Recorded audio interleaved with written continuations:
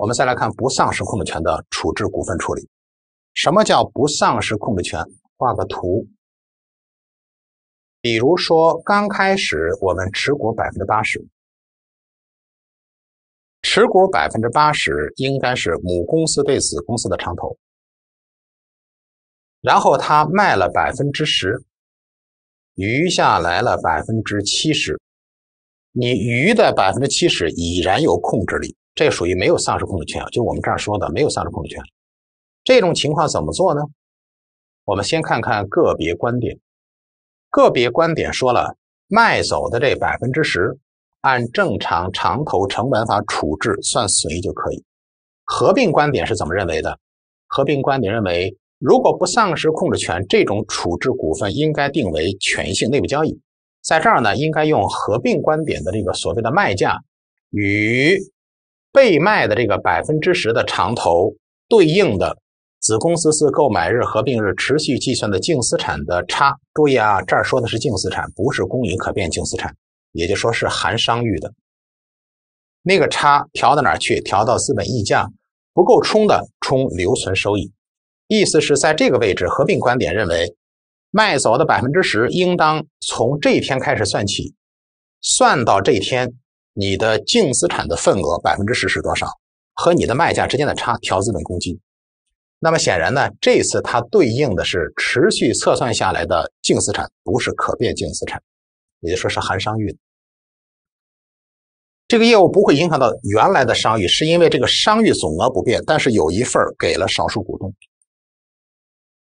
我们先看题：甲公司二零年初买了乙公司百分之八十的股份，花了一千六，当天乙的公允可变净资产一千五。当天的账公口径一致，当天的股本八百，资本公积一百，盈余公积四百，未分两百。二零年乙公司实现净利润四百，分红一百，其他综合收益八十。二一年实现净利三百。二一年底甲公司卖掉了百分之十，卖价为二百一。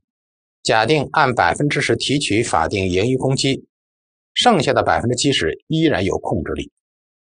我们先看看卖掉的少数股份个别跟合并的观点。首先，个别观点的话呢，这是卖价二百亿，借银行存款二百亿，这是那个百分之十的那个账面。为什么是两百呢？他总共花的是一千八嘛，啊一千六，一千六的八分之一，这不正好两百吗？赚的是十嘛。按照合并观点，应该是自购买日持续测算下来被卖的那份这一天的净资产加商誉是多少？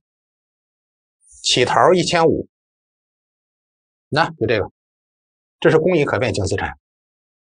这个四百是净利，一百是分红，八十是其他综合收益，三百是净利，加上它的总商誉，算出来卖这一份的时候，它的净资产应该是二六八零。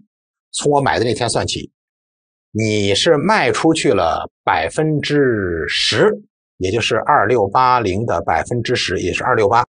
然后呢，卖是二百一，中间差的直接抹资本公积溢价就可以。资本公积如果不够抹的，这就会抹盈公积和未分利润。那么从左到右应该怎么办呢？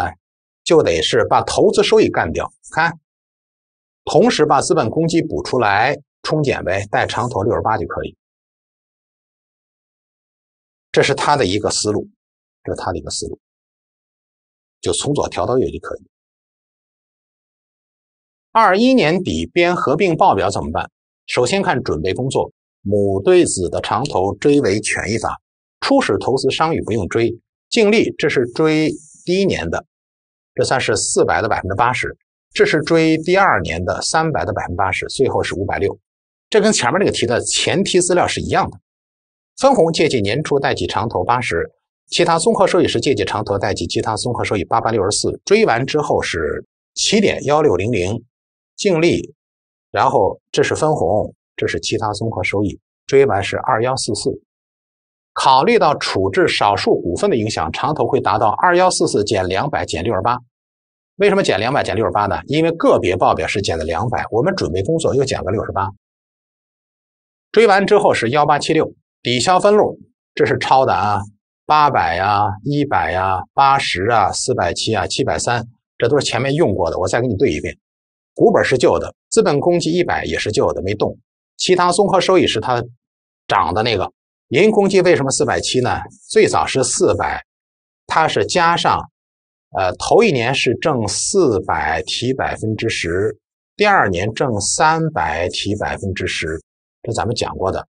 这个七百三怎么来的呢？这儿写着呢，最早是两百，这是净利，这是净利，这是分红，这是提取的盈公积。商誉还是四百，但是这个长头是刚才追完的幺八七六，少数这一块的话呢是八百加一百加八十加四百七加七百三，八百加一百加八十加四百七加七百三乘以百分之三十，然后挪出了一份商誉给他。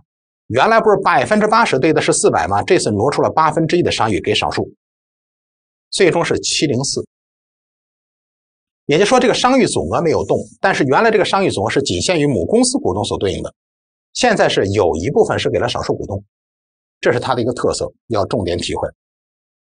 投资收益这一块老样子，借记投资收益三百的百分之八十二百四，三百的百分之二十是六十，少数股东这个啊，这是年初未分，这是最早的。这个上年的年初未分，然后净利、提取公积、分红造成的上年年末、今年年初提取公积三十，年末一分七三零，就刚才这个数。因为这道题的基本框架内容是我们重复过好几遍了，在这儿呢就不再说那么细了。看一个多项选择题。下列各项合并资产负债表应当调资本公积的有谁？同控合并中支付的对价账面小于取得净资产账面的差，调。存货转为公允模式的投资性房地产的公允大于账面，这个走其他综合收益。联营企业接受新股东资本注入，投资方仍然用权益法核算，享有的联营企业净资产的份额出现的变动，这个调资本公积。母公司在不丧失控制权的情况下，处置对子公司的长投处置价款大于这一天处置股份相对于应享有的子公司自购买日持续计算净资产的差，就咱们刚才这句话，这个也是调资本公积。A、C、D。来，咱们接着看另外一个特殊事项：因子公司少数股东增资稀释了母公司所持有的股份比例，问怎么办？这个道理非常简单，就是子公司的其他股东对子公司增资，使得母公司的持股比例因此而被稀释。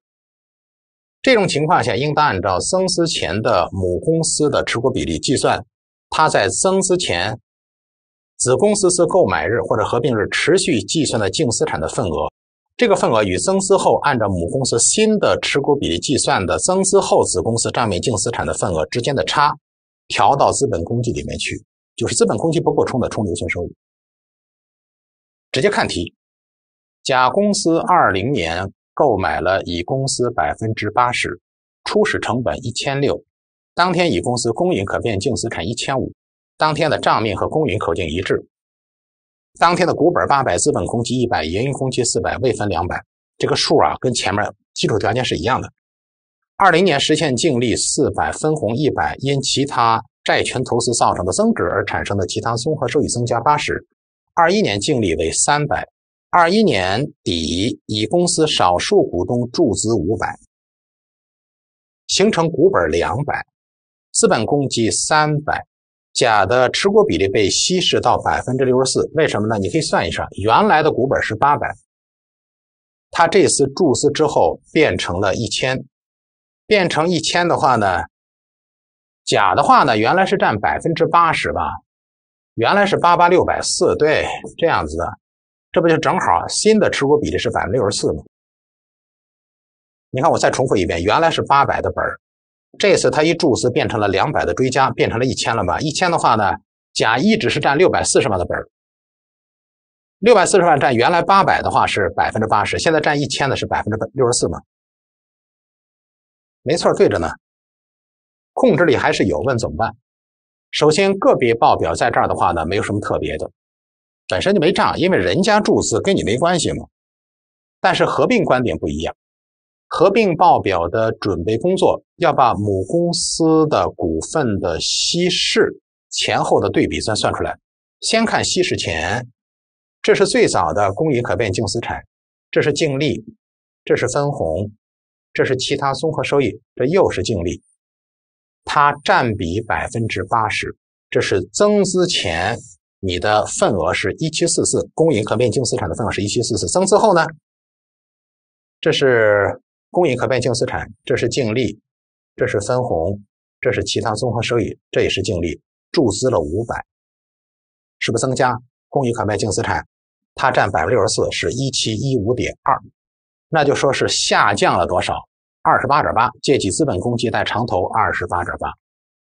如果资本公积不够充的，那就换成借盈余公积或者借利润分配未分利润这样做。合并报表的准备工作在这儿呢，首先是成本法追权益法。初始投资商誉不用动，净利又来一次，这是头一年的净利追调四百的百分之八十。这是第二年的净利追调，三百的百分之八十，借长投是五六零，带年初一分三二零，投资收益二百四，分红借年初一分八十，带长投八十，其他综合收益借长投六十四，带其他综合收益六十四，追完之后是二幺四四，然后根据刚才的对方注资你被稀释的那个调整处理，调整的话呢是怎么调的？借记资本公积贷长投二十八点八，调完之后变成了二幺幺五点二。抵消分录，这是那个修正之后的股本，八百加两百，这是修正之后的资本公积，一百加三百，原来是一百，这次加三百，对，这是原来的，这是新增的，因为它是注资五百，两百的本，三百的溢价嘛。呃，其他综合收益照旧，盈余公积还是原来那个，未分还是原来的七百三，没动过，商誉四百照旧，这是咱们追完之后的那个长投二幺幺五点二，那么这个少数股东呢，用这一嘟噜。乘以最新的持股比例百分之三十六来算的，算一下，一千加上四百加上八十加上四百七加上七百三的百分之三十六，九六四点八。OK，合并利润表的抵消照旧，借记投资收益二百四三百的百分之八十，借记少数股东损益三百的百分之二十，借记年初未分。这是上年的年初、上年的净利、上年的提群公积、上年的分红造成的上年年末，今年的年初四百六，待提群公积三十，年末未分七百三十，刚才那个摘过来的，这个倒是不是特别难，但是你会发现它好像没有动商誉，它只是公允可变净资产的前后比对，但是它这个准则原文说的是净资产，它没说可变净资产，这个的确有点矛盾。在这儿呢，以我这个为准啊。再来看交叉持股的合并处理。所谓交叉持股，就是母公司、子公司相互持股。这里面母公司持有子公司，这肯定的，完成控制嘛。但是子公司也持有母公司的一定份额，这叫相互持股。相互持股的话呢，母持有子的股份，与子的所有的权益抵消，这是正常处理。子持有母的股份。按照初始成本列到合并报表里面的库存股，权益法下确认的投资收益把它抵掉，按照短线和其他权益工具投资核算的冲销它的公允价变动，就是把以前的公允价波动这个调平。子公司相互持有的长投原则和刚才这个是类似的，了解一下就行。这个目前呢没有大量的例题展示，也没有这方面的测试的风格体现。到这儿为止的话呢，我们就算把合并的特殊事项就说差不多了。最后一个呢是一个理论的东西，叫报告期内出售或购买子公司，问怎么办？编制合并资产负债表的原则是，母公司在报告期内因同控背景增加的子公司，视同该子公司从设立之初就被母公司控制。编制资产负债表时，调整合并资产负债表的期初数，相应的合并资产负债表的留存收益，应当反映它们一直是一个整体运行到合并日所实现的留存收益的总额。比较报告也是视此同等原则来处理，听个大概就行啊。非同控增加了子公司的，应当从购买日天编制合并资产负债表，不调年初数或者叫期初数。报告期内，你把子公司给卖了，编制合并资产负债表时不应当调合并资产负债表的期初数。你报告期内如果卖掉的话，有个问题，你年底还编合并资产负债表吗？不用编了。编制利润表合并的话，应该怎么办？母公司在报告期内同控背景下，你增加了子公司，视同它一直是一体化存在的，那么应该合并期初至当天的合并的收支形成合并利润表。我们说过很多遍这个。非同控的话呢，增加子公司应该只是从购买日到期末的合并利润表把它合在一块儿。如果你在报告期内你把它卖了，应该把该子公司期初至处置日的合并利润合在一块儿。流量表。母公司在报告期内同控背景下增加了子公司，视同该子公司一直存在，叫编制期初至当天的，或者叫至期末的所有的合并流量表。因非同控背景下增加子公司的，只编购买日至期末的合并流量表。那么报告期内处置子公司的，应该把该子公司期初至处置日的流量纳入到合并流量表。这些呢？我们当初讲同控原则起合并立章时，已经做过充分的解析。下面我们看一下二一年的综合题。甲公司发生如下事项：二零一八年初，甲公司定增五千万股普通股，从丙公司这儿取得乙公司百分之六十的股份，完成控股合并。那么甲和丙。没有别的关系，属于非关联方，这是非常典型的非同控。非同控的话，它的公允尺度推定长头一股公允价是多少？十块，五千万股那就是五个亿。这里面的长头成本就是五亿，贷方的股本多少钱？五千万，形成资本公积的股本溢价多少？四点五亿。另外，甲公司用银行存款支付了相关的评估费一百五，那个评估费一百五属于合并直接费，所管理费拿下。这一天的对方的账面净资产是六亿五千，其中股本两亿五，资本公积五千，盈余公积两亿六。未分利润九千，可变净资产公允是八个亿，八个亿和六亿五之间差了个一亿五，是由于一块地皮的评估增值而造成的。这块地皮尚可使用期是五十年，五十年的话相当于一年少摊多少？按照集团的口径，少摊三百，年少摊三百。摊到哪儿去？摊到啥用啊？这是土地省权用于什么部门？没说，没说。这里面的话，一般走管理费呗。那就说呢，当年的管理费每年少摊三百。这样的话呢，按照这个思路，非同控的意思就是说，你的净利调公允得减三百。还没完，公允可变净资产是八个亿。八个亿的百分之六十是四亿八千万，你的合并成本是五个亿，多掏了两千万，叫合并商誉。当天的抵销分录怎么做呢？我们在这儿呢需要稍微的把这个事儿解释一下，因为它的资料太长，咱们做一个资料去编一个相关的处理。OK，先看第一资料问什么。根据这个资料问长投的初始成本五个亿，商誉刚才说了两千万，个别报表的分录是借记长期股权投资五个亿，代记股本五千万，资本公积溢价四亿五千万，合并直接费借记管理费贷银行存款一百五。当天要编制合并资产负债表，需要先去编合并报表的准备工作，就是调公允。借无形资产贷资本公积一亿五，然后这一天的股本两亿五是超的，这个两个亿是怎么来的呢？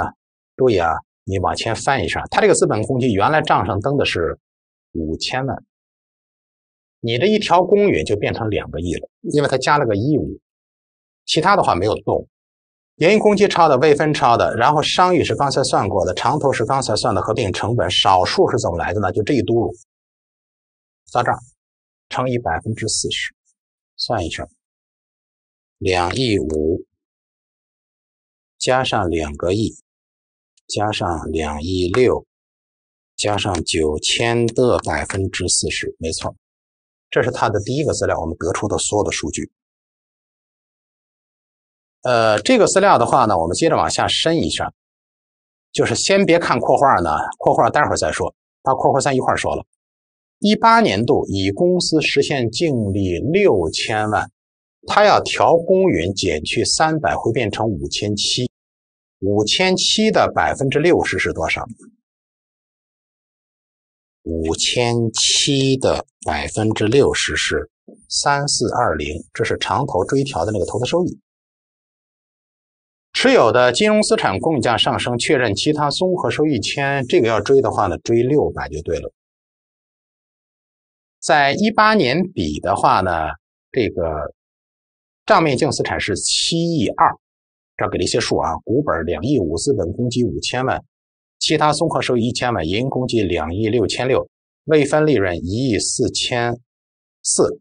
这里面我们要期末调的话呢，这个得调成加一亿五，变成两个亿。其他综合收益不动，营公积也不用动，但是未分这儿得重新算，未分这儿最早的是多少？最早的未分是九千万，九千万加上修正后的净利是五千七，减去提取的盈余公积六百，有没有分红啊？没有，这个结果应该等于几？一亿四千一，一亿四千一。你看，这是五千一，五千一加上九千，这不是一亿四千一吗？来，我们看看它的年底的内部投资抵消。首先调公允，借记无形资产一亿五，贷资本公积一亿五，少摊的三百补出来，借记管理费，贷记无形资产三百。成本法追权益法，这是那个修正后的净利五千七，这是那个五千七的百分之六十的追认三四二零，借长投贷投资收益三四二零，其他综合收益是六百，最后长投追的是四零二零，五个亿打底。加上四零二零是五四零二零，抵销分录，股本超的，资本公积修正后的，其他综合收益是超的，盈公积是超的，这是重新算的。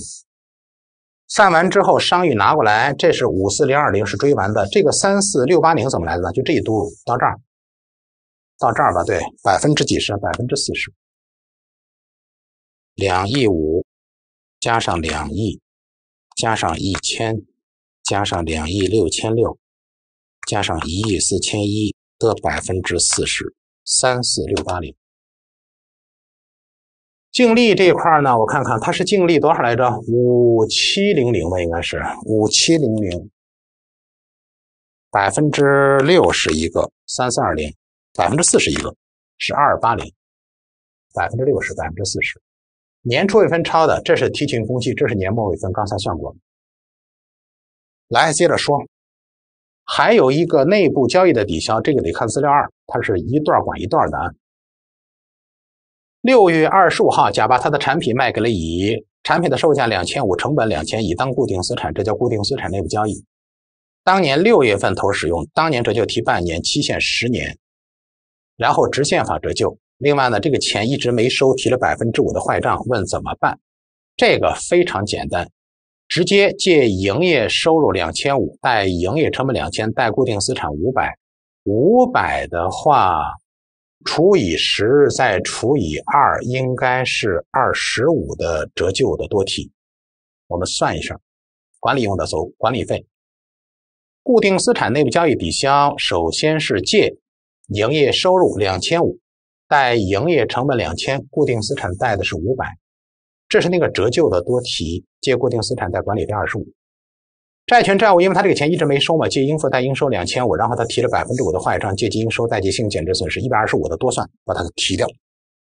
这是一八年的事儿，整完了啊，看一九年，一九年用到的资料应该从第四个开始，前面都已经说过了。一九年度乙公司实现净利五千万，金融资产共价上升，确认其他综合收益两百。然后甲公司编制合并报表，把它当做一个资产组测试减值，发现没有减值。一九年底发现减值了，可收回价是九一二，账面净资产是七七二零零。二零二零年一月一号到三月一号，甲公司发生的交易事项包括：有一月二十号，甲公司十二月份的有一笔销售因质量问题被退货；二月二十二号批准发债八千五；二月二十八号购买了丁百分之八十的股份完成控制。这是它的后面的两个资料，前面都已经说完了。我们先看第四个要问什么？第四个资料它应该先问抵消分录吧？编制一九年的合并报表的调整又来了，这是咱们刚才做过的，往下抻，抄的，这个是调完的，这个是一千加上两百，这是盈余公积刚刚新提的五百，追进去是二七幺零零，这是上一年的年末，今年的年初，这是修正后的净利，为什么？因为它那个净利不是五千吗？减去三百，调公允，这不四千七吗？减去提取盈公积五百。剩幺八三零零，商誉照旧。长投的话呢，最早是五三零二零，是上次调过的。这个是公允净利乘以百分之六十，这是那个其他综合收益乘百分之六十。少数的话呢，就是用两亿五加两亿加一千二加二七幺零零加上幺八三零零乘百分之四十，直接乘过来的是三六六四零。他这个的话呢，只让你去看这一步，他前面应该有准备工作没写，呃，成本法追权法也没让你写。直接写的是这个抵消，把问题简化了。投资收益这块呢，是公允后的净利四千七的百分之六十为二八二零，公允后的净利的四千七的百分之四十为幺八八零，年初一分幺四幺零零，贷方提取公积五百，年末一分是幺八三零零，是从这儿直接摘过来的，看见没有？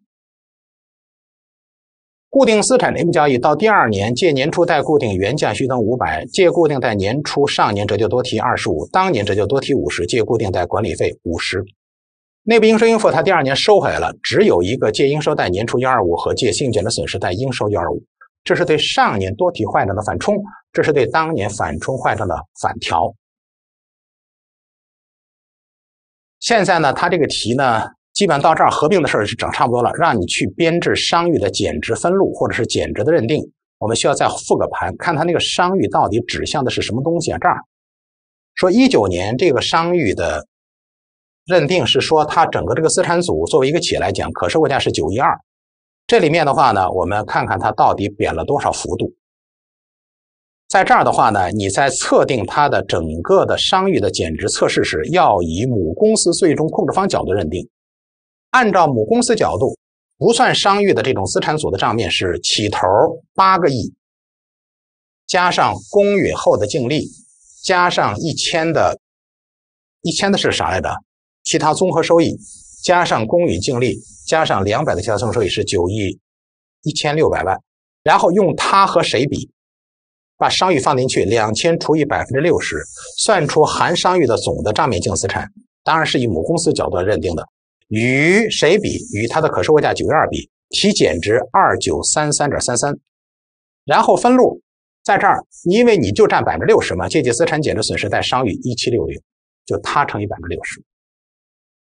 这里面挖的坑在哪儿呢？就是它账上的净资产我们不认，我们要从我们最终控制方角度推出它的应该是净资产多少，以此来推定。最后一个资料，他问刚才那些事儿谁是调整，谁是非调整，这个就太简单了。刚才说了销售退货，这是调整，剩下的话呢，什么这个发债呀，包括这个合并啊，都是非调整要披露的，这个比较简单，基本上不用看也知道。这是我们所说的这道题的一个综合版，显然它是以合并报表为主干，加了日后调整非调整的辨认，加了资产减值的相关处理，是一个拼盘题。但是主角是合并报表。下面我们看一下二二年的综合题，甲公司是上市公司，相关数据如下：二零一九年初，甲公司定增了五千万股的股票。换得以公司百分之六十的股份构成非同控控股合并，发行股份的面值一块，公允价单股十块，也就是说它的总的合并成本是五个亿。会计分录应该这么写：借长期股权投资五个亿，贷方的股本五千万。贷方的资本公积股本溢价四点五个亿，他也没有发行费，啥也没有，省事儿了。在这一天，乙公司同时是丙公司全资母公司，这就是我们说的那个典型的套娃题。在这一天，也就是甲吃掉乙的这一天，乙自己个儿甲吃掉乙的这一天，乙公司自己个编过一个乙和丙的合并报表。这个合并报表里面，资产是九亿二，无形资产是一个亿，有个商誉是一千万，负债是四个亿，净资产是五亿两千，就是九亿二减去四个亿。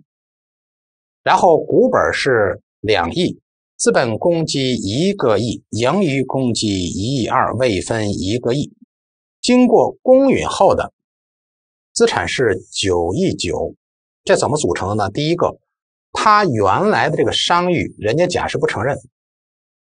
另外呢，有个无形资产调公允涨了个八千，最终这个九亿九怎么来的？就是用最早的账面的资产，账面的资产九亿二，去掉我不承认的商誉，加上我平增的无形资产，这不是九亿九吗？负债是四个亿超过来的，公允可变净资产是五亿九，五亿九的百分之六十是多少？五亿九的百分之六十是三亿五千四，你的合并成本是五个亿，你看看商誉是多少？商誉是一亿四千六，这样子的。乙公司持有丙公司的股份是乙公司乙前年度非同控拿到的。二零一九年初，乙公司合并报表里面的可变净资产账面是五亿一。你看，九亿二减去四亿，应该是五亿二，但是商誉去掉就是五亿一了。公允可变净资产是五亿九，就是这个九亿九减去四个亿，五亿九，在这儿。乙公司的公允可变净资产是四个亿，不算对丙的长投的，而丙自己个儿的公允可变净资产是一亿九，这是在干嘛用呢？就是待会儿啊，他算这个商誉，这不有个一亿四千六的商誉吗？要在乙和丙之间来拆分，按照它的公允价所占比例拆分就可以。乙公司有一个无形资产平增了八千万，就刚才说的这八千万是怎么来的？就是这儿来的八千万。别的账工都一样，这无形资产的尚可期是二十年，净残值为零，直线法摊销。其他的话没什么可聊的。然后他这儿专门提示，甲公司按照可变净资产公允价所占比例，把商誉分摊到乙和丙身上。我们先解决这个资料，因为这个题比较长。第一个资料的话呢，让你算甲购买乙的那个商誉，以及如何在乙和丙之间来拆分。还有一个，乙原来在合并报表里面有对丙的那个商誉签，到底怎么办？肯定是不认的。我们先看第一条，乙公司合并报表里面确认的与丙相关的商誉，在甲的这个合并里面是不承认的。我们曾经说过，非同控的控股合并合并报表在摘这个数据的话呢，原来他那个商誉我是不认的，包括他原来的递延所得税资产、递延所得税负债我都不认，我要重新算的。甲公司购买乙的这个商誉是一亿四千六，刚才算过了。按照乙的公允可变净资产所占比例四亿加一亿九分之四亿算出来，他拆的是九八九八点三一。然后那个呃丙应该分多少呢？剩下的呗，四七零一点六九。这第一个资料说完了。第二个资料是丙的，把一个账面原价四千。累计折旧一千，相当于账面价是原价四千，折旧一千，那就账面价是三千。啊，按照五千的报价卖给了甲。丙的话，相当于是卖固定资产；甲的话，相当于买投资性房地产。因为甲是拿它之后往外租嘛，公允模式计量，后续的话年底公允价是五千五。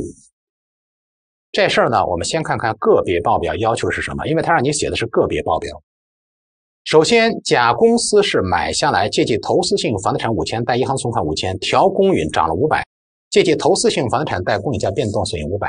然后丙的话呢是把固定资产卖掉，借记固定资产清理三千，累计这就一千，贷固定资产四千，卖赚了多少？两千，借记银行存款五千，贷记固定资产清理三千，贷记资产处置损益两千。这事儿集团怎么看？我告诉你啊，集团认为这个账应该这样做。集团认为账应该这么做。集团认为这就是固定资产转成公寓模式的投资性房地产，它应该是借投房，然后是借累计折旧一千，贷固定资产四千，这是五千对吧？他涨的这两千，他觉得应该走其他综合收益，这是合并的观点。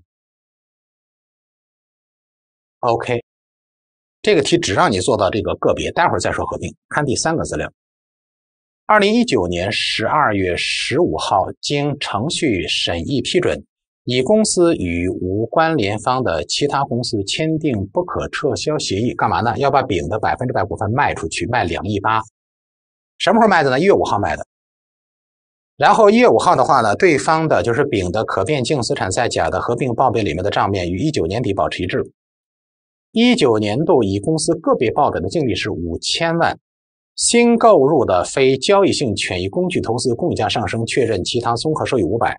丙的个别报表净利是三千万，没别的事儿发生啊。乙向甲报送的一九年底的合并报表里面，净资产账面是六亿零五百，其中实收资本两个亿，资本公积一个亿，其他综合收益五百，盈余公积一亿两千五，未分是一亿七千五。别的资料在这儿的话没什么可说的，有一个事儿就是一九年的财报，甲公司是二零年三月一号批准报出，不考虑所得税啊。现在我们看一下它的第三问，问啥？根据资料三和四，甲公司编制一九年度的合并报表是对乙公司打算卖掉的丙股份怎么办？做持有代售啊？判断乙公司处置丙的时间就是那个二零年的一月几号？五号吧？这不写的很清楚。你先看第一问吧。对乙的话，打算处置丙做什么？做持有代售，而且把丙的所有的资产负债都按持有代售来定性。然后他还要问什么？说判断处置这天的甲公司合并利润表里面列示的与股权投资相关的投资收益额是多少？编制甲公司一九年合并报表的相关抵销或调整分录。那么从处置这天，它的卖价是两亿八。这个被处置的这个丙公允可变净资产起头一亿九，加上它的净利，然后占百分之六十嘛，因为你甲就占百分之六十，这是卖掉的那波，然后把他的商誉也干掉，最终算出它的处置损益是幺零零九八点三亿。现在我们开始编抵消分录，这是那个无形资产调增，借无形资产贷资本公积八千，这是它的少摊，借管理费贷无形资产四百。这是那个我不承认的丙的商誉，把它冲掉，借资本公积贷商誉一千，内部交易抵消，把刚才的卖楼的那个赚的走资产处置收益的转成其他综合收益两千。我们刚才说过这个事儿了。然后呢，因为丙是子公司，相当于间接子公司，这叫逆流交易。这个抵消少数股份部分应该是借少数股东权益贷少数股东损益八百，但是由于它没有形成损益，得调到其他综合收益里面去。借其他综合收益贷少数股东权益八百，这个有点过。成本法追权益法，它修正后的净利这是调公允的，这是净利调公允，这加上丙的净利为七千六。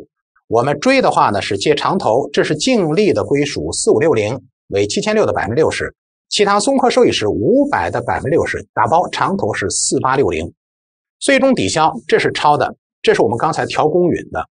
调公允的，调公允，这是去商誉零。其他综合收益是超的，营业公积这是原来的，这是我提的。未分利润这是原来的，这是四千六，是这个，哎，这个五千减四百，然后三千是丙的，减五百是提取的营业公积，是一七一零零。商誉是超过来的，长头是刚才追过的，五四八六零嘛，没错。然后少数的话呢，用这个、这个、这个、这个加起来乘百分之几十啊？四十应该是，算一下，两个亿加上一亿七，加上五百，加上一亿两千五，加上一亿七千一乘以百分之四十，没错。然后呢，把那个商誉就是属于这一波里面的丙的那个转成持有待售。投资收益这块呢是净利的归属，净利的少数股东归属，年初一分抄的，提前空间抄的。这个一七一零零是刚才算过的，没了。这道题难度还是比较大的，它主要是加了一个套娃，使得这个题变得非常的乱。但是这种题是一个指向性很强的类型，一定要好好看一看。到这儿为止，我们的合并报表终于胜利结束。我们需要对本章的关键考点做一个最后的小结。控制的界定，其实这个东西理论上讲起来是特别的费劲，但是在实践里面可能也很费劲，考试反而没什么东西，原理知道就行。合并报表的前期准备工作，这些所有的准备工作有个共同特点：临时的、账外的、一次性的，每年都得重推来过。什么统一母子政策？统一母子期间谁向谁看齐啊？子向母看齐，包括统一币种。母公司长投成本法追权益法，这个追的话有几步啊？初始投资商誉就别追了，负商誉要带年初未分或营业外收入。另外的话呢，对方的盈亏再追的话，非同控调公允，但是顺逆未实现不考虑。另外的话呢，这个分红。借年初未分或借投资收益带长投，然后其他综合收益和其他所有权变动反而好追，那个涉及不到损益，比较简单。这个追的话呢，尤其是注意不要调盈公积，要调未分。收集资料，然后非同控记得调成公允。关键抵消的内部投资抵消，借方的这一串这是子公司所有权益抄完之后的修正之后的。商誉是算好的，带长投带少数股东权益。如果是。投资收益和利润分配抵消是借投资收益借少数股东损益，是根据子公司修正后的净利直接成的。借年初一分带提取公积带年末未分和带分红，这些都是宅的现成的。内部债权债务抵销，借应付贷应收余额抵，借应收贷年初以前多提坏账抵，借应收贷信用减损是当年的计提或反冲的一个反调，这个也可能是倒着写的啊。存货内部交易，这个得先搞清楚什么叫存货内部交易。买卖双方都当存货才叫存货内部交易。当年买存货没卖掉的，借营业收入带营业成本带存货；当年买存货都卖掉的，借营业收入带营业成本，留一波卖一波的，先假定都卖掉，借营业收入带营业成本，然后借营业成本带存货。上年存货没卖，借年初带存货；上年存货都卖，借年初带营业成本。上年存货留一波卖一波，先假定都卖，借年初带营业成本，然后借营业成本带存货就可以。存货提减值得看它以前年度提过多少，借存货带年初，就是把那个个别报表多提的合并不承认的给它冲掉，然后当期这个的话得看个别是提还是冲，看看集团是提还是冲，把差距找出来，搬成集团口径。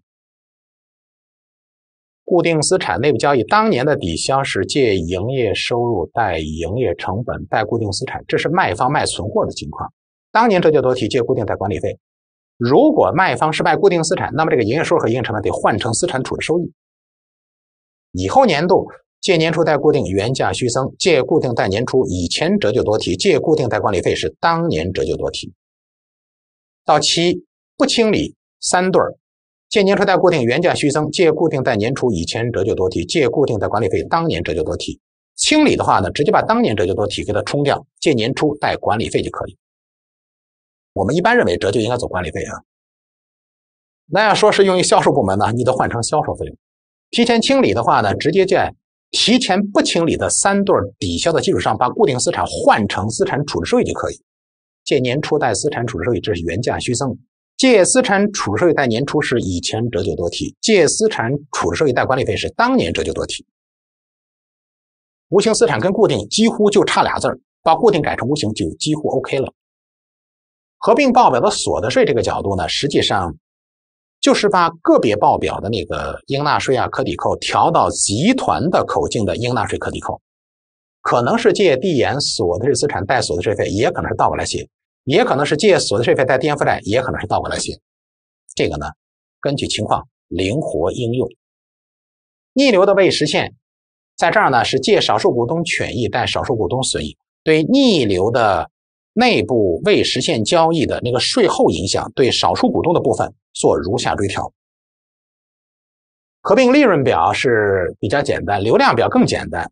本身的话呢，就是借流出贷流入，我们常规的有五个：借投资付现贷吸收投资收现，借分红付现贷取得投资收益收现，借支付其他贷收到其他，借购商贷销商，借构建贷处置。这些呢只是样本，应该说流量表的话呢不止这五个。总之呢，你在编制合并流量表的抵消时，原则是借流出贷流入，按这个来走。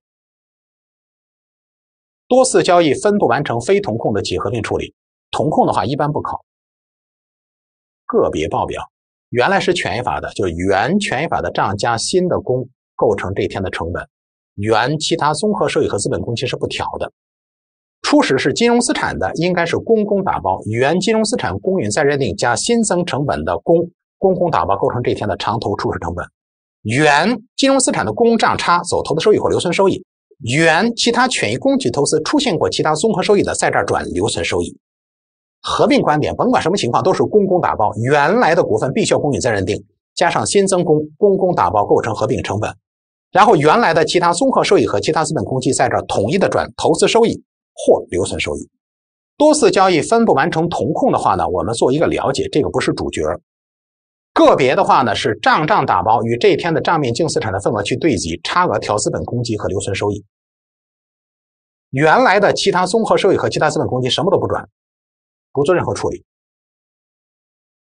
原来是金融资产的，也是这个思路，账账打包与这一天的净资产的份额去对比，差额调资本公积、盈公积和未分嘛，也是原来有其他综合收益的也不转，这个就是账账打包的意思。作为合并观点的话呢，合并日原来的权益法核算的，把所有的权益法的其他综合收益、盈亏都得调到资本溢价里面去。以前的话呢是金融资产核算的，那么这个其他综合收益在这儿也要调平转到资本公积，这个大家有一个认知，不是主角啊，主角是前面这个，这是主要的。买少数股份个别非常简单，按公允算。合并的话呢，要用这个个别报表，就是你的投资代价与新增持股比例占到的从买的这天算起的可变净资产的份额的差，其差额如果出现调资本公积溢价。如果资本公积是冲的话，应该接着冲；留存收益不够冲的话，丧失控制权这事儿有点热闹。个别报表按正常的处置算，剩下的是金融资产的公允再认定价差走投资收益，剩下是权益法的成本法追权益法。合并观点是一直是成本法算下来还是权益法？合并报表说了一直是权益法算下来，然后是先把它卖掉再买回来，对，叫先卖再买。这个观点明显和他不一样，不丧失控制权，个别按正常处置；合并的话呢，处置前这个按权益法，然后卖价和处置股份对应的子公司净资产的差，应该调资本公积和留存收益。我们当时做过对应的处理。其他的话呢，像少数股东增资稀释母公司股份，个别不处理；合并的话呢，是前后的净资产的差调资本公积和留存收益。而交叉持股，母公司所持股的这个和子公司所有权正常抵消，子公司持股做库存股处理，包括权益法的投资收益抵以及其他综合收益都要抵，其他权益工具投资的贡献波动也要调冲。这里面报告期内购买子公司的话，同控要追至同控的同一控制下的控制日，然后要编制合并当天的资产负债表，年初至合并当天利润表，年初至当天的合并流量表。非同控年度内买了子公司，直接在这天编个合并资产负债表就可以。那么，如果是这个报告期内处置子公司同控的话呢，合并资产负债表要删除该子公司，年初至这天的利润表要编，年初这天的流量表要编，这是同控。非同控是跟刚才一样，这倒没什么区别了。这块呢，我们只是简单的把一些核心考点的目录给大家拉了一下，但实际上这章整体内容极为关键，尤其是那些典型案例要认真准备。我们几乎选的所有的典型案例都是历年考题，这章每年必考，而且每年都有新的花样。比方说套娃题，所以说呢，这章应该说是全力以赴的非常关键的一个综合题，必有的，一定要认真准备，十五分到二十分。加油！好了，本章到此为止，谢谢大家，再见。